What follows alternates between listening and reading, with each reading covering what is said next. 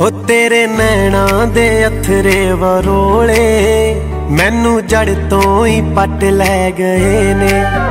ਵੇ ਮੇਰੇ ਸ਼ੰਦੀ ਗੁੱਡੀ ਸਾੜਿਆ ਵੇ ਤੂੰ ਆਇਆ ਤੇ ਸਾ ਪੈ ਗਏ ਨੇ।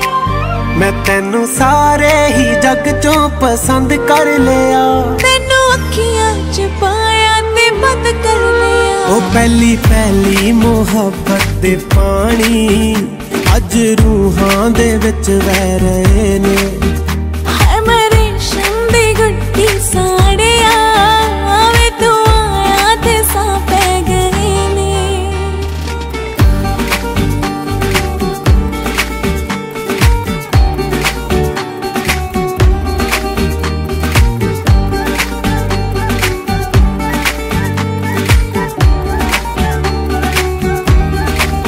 ਹੋ ਤੇਰੇ ਹੁਸਨਾਂ ਦੇ ਕਿੱਸੇ ਸੁਣੇ ਸੀ।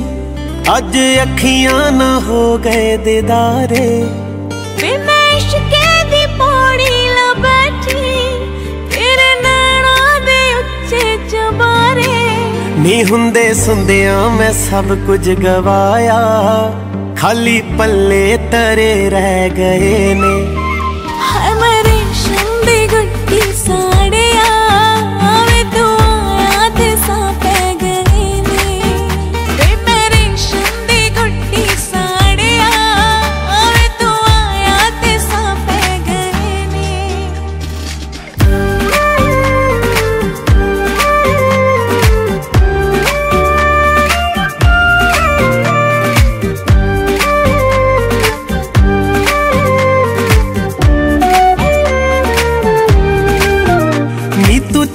ਦਾ ਲੈ ਕੇ ਦੁਪੱਟਾ ਮੇਰੇ ਖਾਬਾਂ ਦੇ ਪਲਗਾਂ ਤੇ ਸਜ ਗਈ।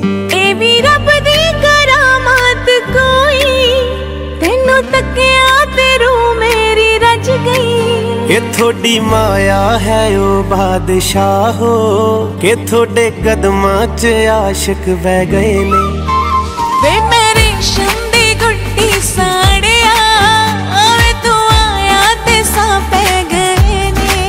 ਮੈਂ ਤੈਨੂੰ ਸਾਰੇ ਹੀ ਜੱਗ 'ਚੋਂ ਪਸੰਦ ਕਰ ਲਿਆ। ਤੈਨੂੰ ਅੱਖੀਆਂ ਚ ਪਾਇਆ ਤੇ ਬਦ ਕਰ ਲਿਆ। ਉਹ ਪਹਿਲੀ ਪਹਿਲੀ ਮੁਹੱਬਤ ਪਾਣੀ ਅੱਜ ਰੂਹਾਂ ਦੇ ਵਿੱਚ ਵਹਿ ਰਹੇ ਨੇ।